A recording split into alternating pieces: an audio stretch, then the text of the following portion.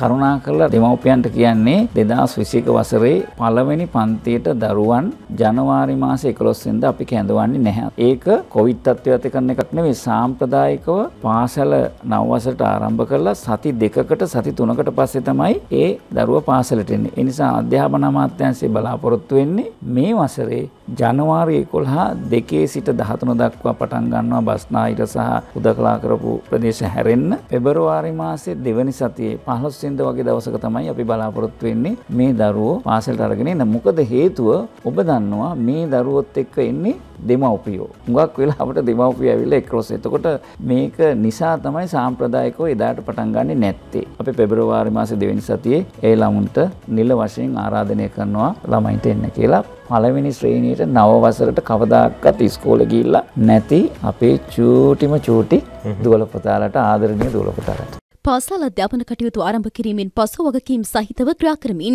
ඒ සඳහා සහාය දෙන ලෙස ලේකම්වරයා දෙමව්පියන්ගෙන් ඉල්ලා සිටිනවා.